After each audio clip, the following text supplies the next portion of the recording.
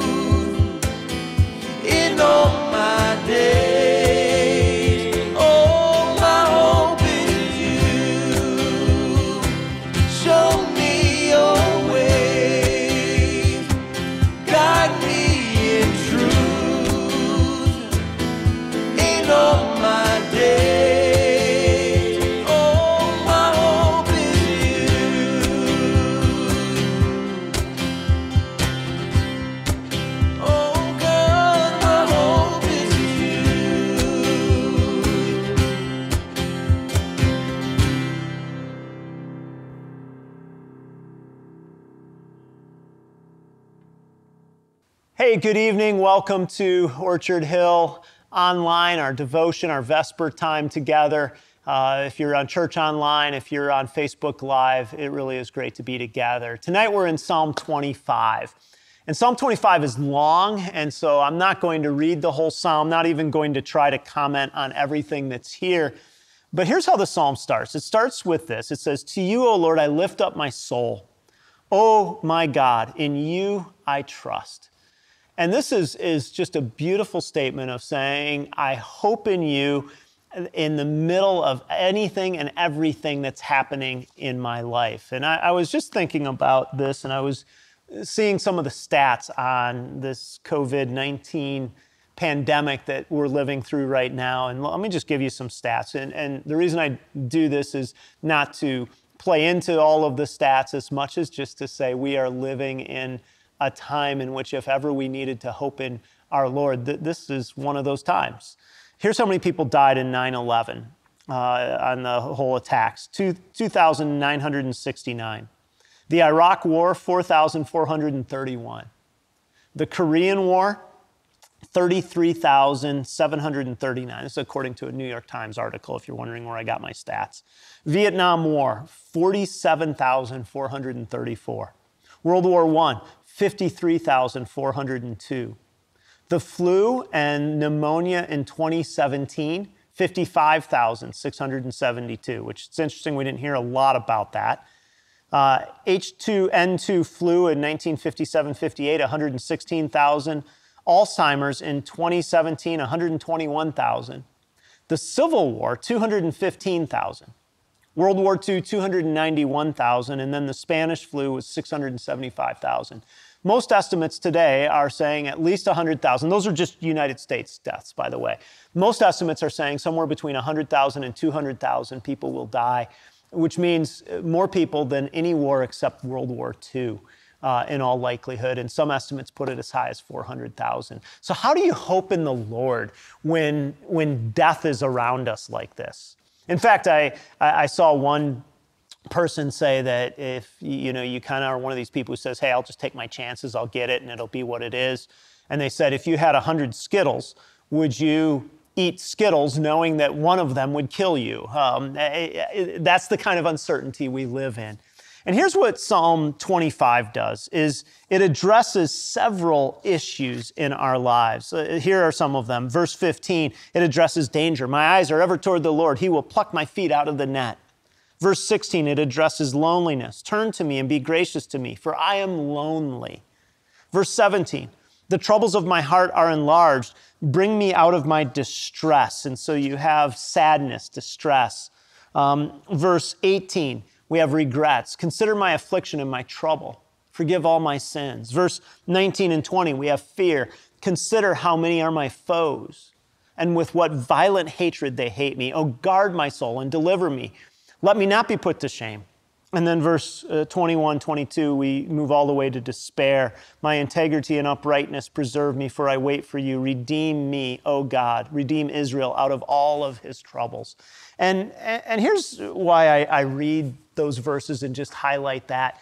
Because as we look at that, even without this pandemic, chances are there are days when you feel danger, you feel lonely, you feel sadness, you feel regret, you feel fear, you feel distress. So, how do we lift our soul to God? Well, this psalm gives us at least three ideas. There are probably many more. The first is this word wait. It appears three times in the, in the context verse 3, verse 5, verse 21. And to wait is to accept God's time and therefore his wisdom. It's to say, in essence, I will do right as I wait for God. Verse 21 may integrity and uprightness preserve me as I wait for you. In other words, let me do the right thing. I don't know if you remember when you were a kid, if your parents were making a good dinner and they said, don't snack. And you had that moment where you're like, but I want to snack. I'm hungry. I don't want to wait for dinner. And your parents' perspective was always, well, we want you to wait because dinner is coming and dinner is something we've worked hard on and it's going to be good. And as you get older, what happens is you, maybe, maybe not, you, develop the ability to say, I'm not going to ruin my dinner with a snack because dinner is going to be worth the wait. And part of waiting on the Lord to renew our soul is saying, even when things appear bleak, I can wait on Him because He is working and doing things that I may not see or understand today, but I will someday. And to wait means that I will continue to, to choose to do the right things, even in the midst of a time that's hard. Here's the second thing, and that is I, I think we experience and find our way to uh, lifting our soul to God when we seek His mercy. Verses 6 and 7. Remember your mercy, O Lord, and your steadfast love, for they have been from of old. Remember not the sins of my youth or my transgressions. And, and mercy here is a word that is used in other places to speak of those who are vulnerable and needy and dependent. It's used in Isaiah 49 15 for the love of a mother for her child, a nursing baby. In Psalm 103, verse 13, it's used of a father having compassion or mercy for his, his children. And, and it's, it's really the idea here of saying that if you, again, can think of yourself as a child going to your parent and saying, I would love for you to do this for me, that's the idea here of saying, I'll wait for God, I'll come to God, I'll hope in God, I'll turn my soul to God because I can come to God and say, Would you work in this situation? I am going to, to pray to you and ask you for your mercy in whatever I'm going through. And, and it means really doing that despite however things appear. Um, uh, you know, because verse 17 again talks about just distress and trouble. And, and so that's, that's part of it. And then we have this idea, I'm going to say, enjoy God's friendship. I'm reading from the ESV here this evening. It says, The friendship of the Lord is for those who fear him, and he makes known to them his covenant. And the NIV says he confides in the people um, who, uh, who fear him. And the same word is used two other times in the Bible Jeremiah 23, verse 18 and 22, where it speaks of counsel. And here the idea is God is one who, who takes us into his counsel, who is a friend of us, who's with us, who helps us, who wants the best for us. And the reason that, that again, this is so helpful in my mind is to say God is not aloof. To say to you, O Lord, I lift up my soul. To say, Will you rescue me from, from shame, from difficulty? Is to say, in essence, God, I'm going to wait till, till I see your hand. I'm going to seek your mercy. Um, I'm going to be intimate in, in the sense of being your friend in the midst of this is all a way of saying, in essence, God, I'm going to turn towards you rather than away from you.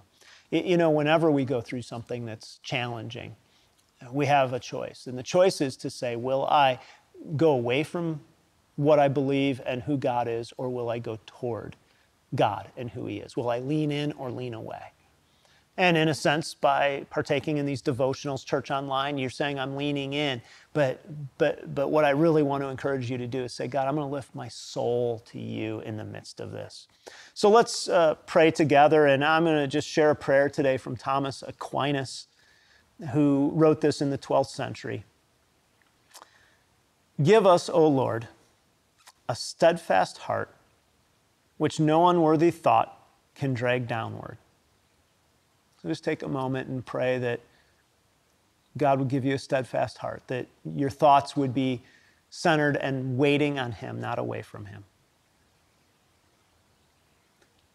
Thomas Aquinas continues Give us, O Lord, an unquenchable heart, which no tribulation can wear out.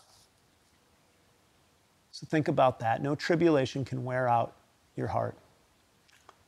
And then give us, O Lord, an upright heart, which no, um, which um, uh, nowhere uh, is being tempted to put aside your purposes. And so just ask God to give you a heart that says, God, I'm not going to set aside your purposes today. Father, we thank you that we can place our hope in you, even in times that feel uncertain. And God, I pray that each of us would do that and find our rest and our relief in turning towards you, not away from you. And we pray it in Jesus' name. Amen. Hey, don't forget church online this weekend, Saturday at 6, Sunday at 9:30, 11:15. You can find it on Facebook Live or on Church Online, uh, which you just go to the Orchard Hill website and follow the links to get it there. Have a great Friday evening.